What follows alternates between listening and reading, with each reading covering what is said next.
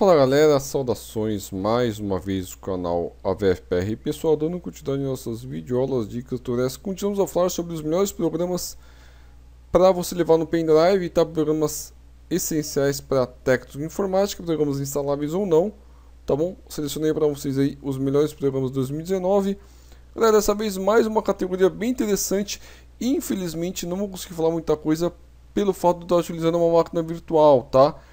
Mas é a categoria referente a programas para verificação de temperatura. Qual a importância deles? Vamos supor que você está trabalhando uma máquina, inexplicavelmente ela congela ou ela pite desliga e você não faz a mínima ideia do que seja, seja sua máquina ou seja de um cliente.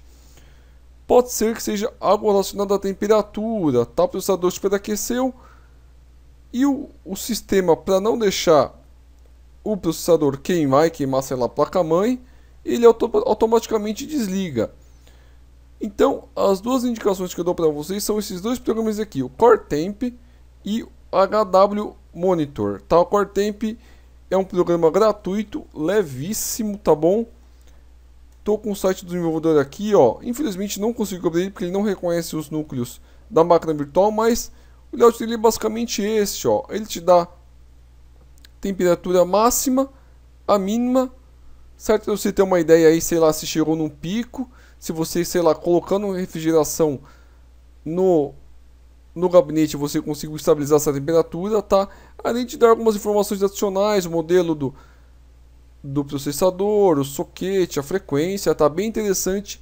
E o HW monitor, ó, basicamente a mesma função, ele é um pouquinho mais completo, tá? Ele eu consegui abrir, mas ele não me deu muitas informações pelo fato de eu estar utilizando uma máquina virtual, tá?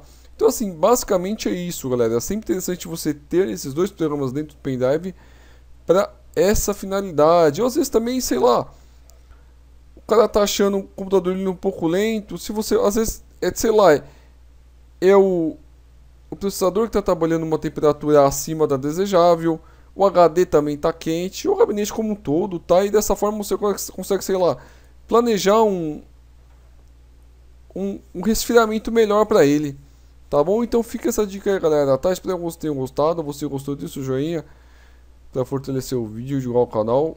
Você gostou, muito, inscreve, e você que gostou muito mesmo, compartilhe os nossos vídeos, tá bom?